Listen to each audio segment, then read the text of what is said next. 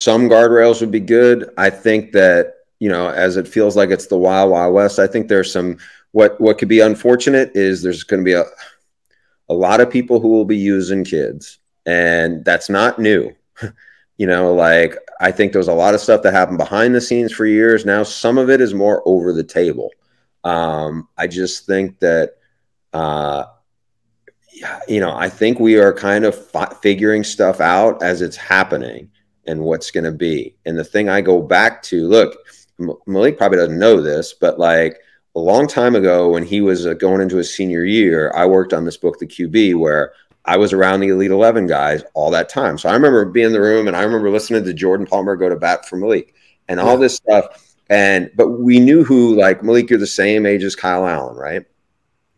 Same yeah. year. Kyle was the five star from somewhere in Arizona, you know, and, you know, I, I know Malik's class, or was, uh, Brandon Harris, Hackenberg, Max Browne. Yeah, um, Goff was even in there.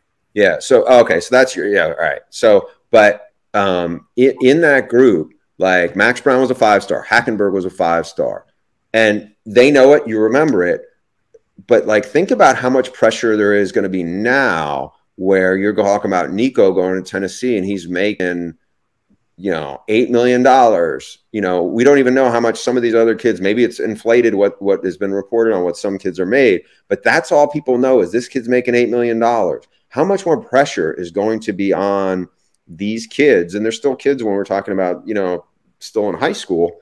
Um, you know, it's it's way different, right, compared to that, and I think that is going to be hard because that rate on the five stars, you know, and he just mentioned a couple of them. You mentioned because because uh, Goff was like a four star. Have you ever seen? Yeah, Goff was like kind of underrated at the time. Yeah, so that that group of I'm trying to remember. It was like so if it was Hackenberg, Max Browne, and then there was the guy who went to Michigan, Shane Morris. Shane Morris, thank you. I, oh, yeah, yeah, right. And so, but the two guys were the five stars. And if you look back at like the last ten years, and I went back and you know kind of looked at it uh, there's of the five star quarterbacks, they they kind of live up to what that the hype is, maybe 30% of the time. And now you're talking about that's before all this other stuff. And I'm not saying they shouldn't, you know, kids shouldn't be um, getting taken care of because everybody else is making money. Um, it's just now, man, that's uh, the pressure and the expectations and all that. It's just a hard dynamic to to to sort through.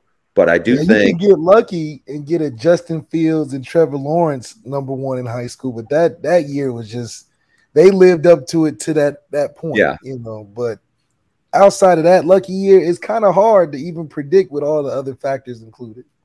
Yeah, it's just so much so much of a spotlight. You got other factors, as you know, as a quarterback that are out of your control. You know, and I just think that it's going to be really interesting to see how this all plays out. Um, you know, Nick Saban's going to be fine. Kirby Smart's going to be fine. be you know, Kirby Smart just got like a hundred ten million dollar contract. You right. know, so, um, the thing that was cool, and I like, and I don't know if if Malik crossed paths with the, the name I'm about to mention, but like, there's a kid who was always around the Elite Eleven guys, and now he's a backup quarterback. I used to say named Chase Griffin. Oh, Chase. Chase is phenomenal. Right. He's a, a, great he's a great player though. Like he's not bad. He, he was a great high school player in Texas, right? He's 5'11 ish, um, but super smart. And you know, he's already graduated from UCLA anyway, so he's out here. Like and and um, on the eve of NIL, probably like two weeks before I was about to go in, um, he came over to our house for dinner, and then I drove him back. And in the car ride back, he started talking about NIL as it relates to a lot of the female athletes at his school, the women gymnasts at UCLA, got a couple of maybe soccer. And he was talking about how much money they were going to be able to make now and what they could do with it. And I just thought it was so cool because that's something I'm not saying that nobody thinks about. That's something that most of us who are in the like the big mainstream, you know, aspect of college football or college basketball probably don't probably neglect talking about. And so for that, and that's a lot of athletes, right? That's a lot of not, you know, like, look, I mean, I don't know if you overlapped with, and I'm blanking on the on the woman who whose brother played basketball, or brother played football at Wisconsin. She won, she had the game winning shot in um in the NCAA, you know, Arike, championship. Arike, yeah, that's my yeah. Yes, killing right. it.